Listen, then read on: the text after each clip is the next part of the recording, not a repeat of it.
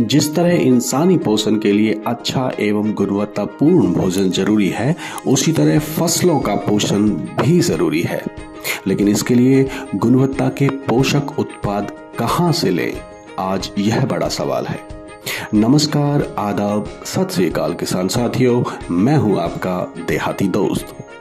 आपसे पहले पॉडकास्ट में हमने आपको बताया कैसे मिट्टी जाँच, खेत की सही तैयारी और उपचारित बीज के माध्यम से गेहूँ लागत में आप सात हज़ार रुपए तक बचा सकते हैं।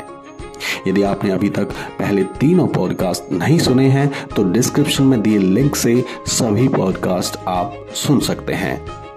तो चलिए आगे गेहूँ की खेती में प्रति एकड़ बीस हज़ार रुपए तक की बचत व कमाई के बाकी तेरह हज़ार रुपए की बात करते हैं। हमने अपने पहले पॉडकास्ट में मिट्टी जाँच के बाद किन किन पोषक तत्वों एवं उर्वरकों का इस्तेमाल करना है, इस पर बात की। उनका कब व कितना इस्तेमाल करना है, आज यहाँ इस पर बात करना भी बहुत ज़रूरी है। अधिकतर किसानों को उर्वरक इस्तेमाल की मात्रा का संज्ञान नहीं होता है। हालाँकि कृषि उत्पादों पर इसका विवरण लिखा होता है, लेकिन हर खेत की मिट्टी जाँच के परिणाम अलग अलग होने पर उर्वरक कैलकुलेट करने के लिए कृषि विशेषज्ञों की सलाह ज़रूरी है। इसके लिए आप देहात किसान ऐप के माध्यम से भी अपने खेत के लिए उर्वरक कैलकुलेट कर सकते हैं। इसे किसान साथियों कम या अधिक उर्वरक डलने की संभावना न के बराबर हो जाती है। और उचित मात्रा में उर्वरक इस्तेमाल करने से आपकी लगभग दो हज़ार रुपए की बचत हो सकती है। उर्वरक कैलकुलेट करने के लिए देहात किसान ऐप का लिंक मैं आपके लिए डिस्क्रिप्शन में डाल देता हूँ।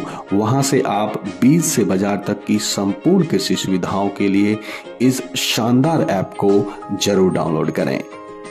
इसके अलावा किसान साथियों, आप जानते हैं आर्थिक तंगी के चलते कई किसान समय पर उर्वरक एवं फ़सल उत्पाद नहीं खरीद पाते या फिर सूदखोरों से महँगे ब्याज पर पैसा लेकर खेती लागत का सामान खरीदते हैं।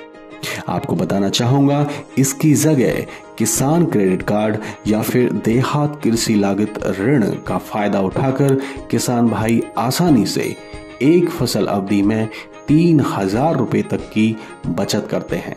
बिल्कुल सही सुना आपने। आसान कृषि ऋण, उच्च गुणवत्ता के उर्वरक और फ़सल पोषक से जुड़ी जानकारी के लिए आप भी अठारह सौ दस छत्तीस एक सौ दस पर कॉल करके जानकारी ले सकते हैं।